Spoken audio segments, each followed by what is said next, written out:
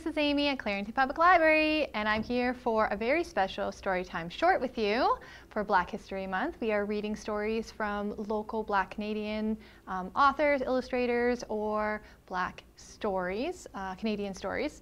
So I have here today um, a story by a Black Canadian who lives in Toronto named Nadia Hohn, and she has written a number of different books in our library. She actually has a new one coming out called Malaika's Surprise, something to check on our catalog. Um, it's on order, so you can put a hold on it. So um, Nadia Hohn is um, an educator, an author. She's a musician as well. She sings as well. Um, so she is a wonderful person to be talking about today. And she has this wonderful series um, about Malaika. There's another one here. So let's get started with Malaika's Winter Carnival by Nadia Hohn. Pictures by Irene Luxbacher. And we got permission from Groundwood Books to read this to you today.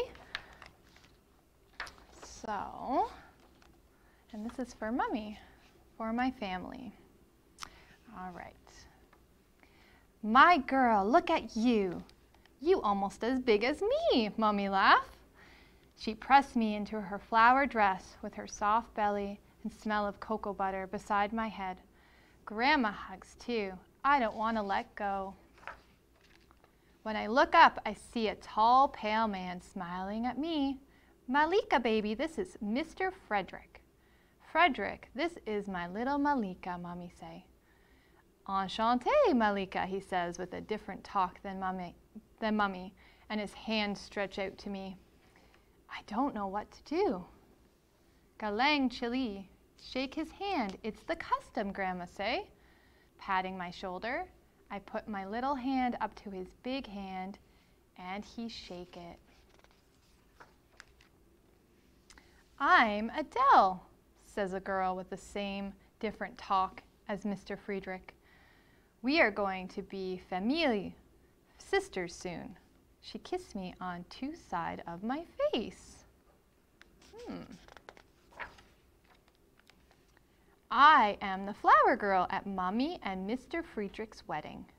Mama plait my hair with flower and ribbon. Oh, isn't that pretty? Smile, Malaika, you fit that dress so nice, says Miss Chin, the tailor lady.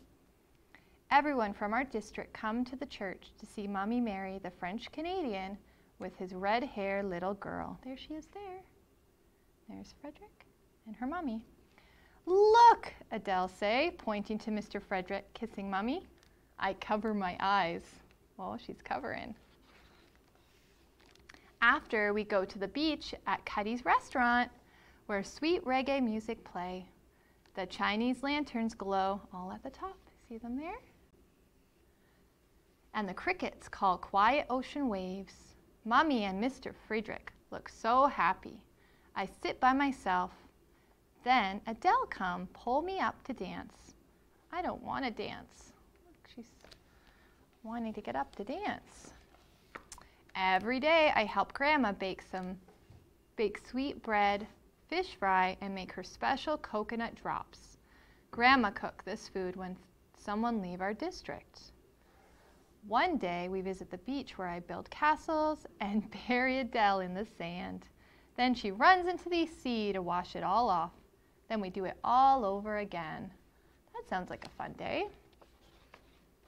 On the last day, Uncle, Ewart throw a big cookout and all of my cousins and school friends come to see us off. Even my teacher come. I cry and cry. She's so sad. Malaika, I know this won't be easy, but I think you're going to like Canada, Mommy say as she hold me. It's hard going, doing change, isn't it? The next day, Uncle Ewart and Cousin Fitzroy pack a minibus. There's a minibus to get ready to drive all of us to the airport. But first, I hug Grandma for a long time. She waved at us from the house holding a tissue. You see her way up there? And then off they go. When our airplane land, Mommy gives give me a big purple coat with fur on the hood to put on. I step outside and my body feel cold all over. I see a white puff when I breathe out. Oh, must be winter in Canada. Bienvenue à Quebec, Malaika, Mr. Frederick say. You will share your room with Adele and have your own bed, Mommy say. Like sisters, Adele say. She smiles a toothy grin. Oh, he's carrying her across. Oh, she's getting prepared for winter. Look at all the clothes. The next day I go to my new school. Mommy make me wear a long pants called long johns, two pair of wool socks, an undershirt, a turtleneck, a sweater, and a coat. Oh, I think she needs all of that. Must be pretty cold. I have two pairs of mitts on and a hat, them called toque, and earmuffs. The boots are a little big, but Mr. Frederick say they will last two winters. See all the stuff she has? She'll be nice and warm. When I get there, the children speak a different way. The teachers speak a different way, and no one understand me. I hate it. Change is really hard, isn't it? One day, Mommy and Mr. Frederick take Adele and me to what they call Carnival. Adele pull my hand over to her snow castle made with colorful cones. Green and blue, red and yellow, but I don't care. This is no carnival. I don't see no costumes. This is an ugly castle. I hate it, I scream. I kick down the snow castle, I pick off the ice cones and throw them on the ground. they make a sound like breaking glass. That's not very nice. Adele's face looked like it break apart too. Oh, she's sad now too. The next morning, Mommy wake me up. There's someone who wants to see you, she say. She put the computer on my lap. Grandma, I say. Oh, there she is. Malaika, is that you? She says, squinting her eye. Seeing Grandma make me think about goats on the roadside and chinip and shiny black shoes at church. Think about warm breeze and roosters crowing in the morning and poinsettia flowers at Christmas time. Think about school uniform and roasted breadfruit with salt and all my friends and cousins. I think she's homesick. Grandma make me feel so happy again that I reach out to hug her, but I can't.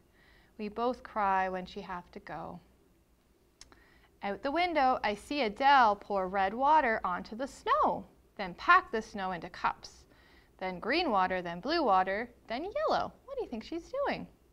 I put on my coat, hat, and all my things and run outside. I take a deep breath.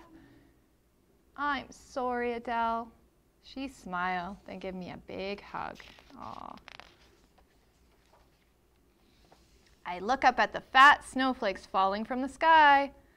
Malaika, mangeons, Adele say. What? I say. Let's eat, she say. She opens her mouth as the tiny ice crystals land on her tongue. They're eating snow. I do the same and gobble each one. I smile, a big smile. Then I start to laugh, and she do too. I laugh with my sister until my belly hurts. Oh, she's liking the snow. Oh, and in the background, the mom is showing Grandma just how fun she's having with the snow. Oh, what a good moment. The end. What a beautiful book. So that is for you. Thank you so much for joining. Hopefully you enjoyed the book and enjoy the rest of the series. We'll be posting a few different specials for Black History Month on our YouTube channel. Have a great day. Bye.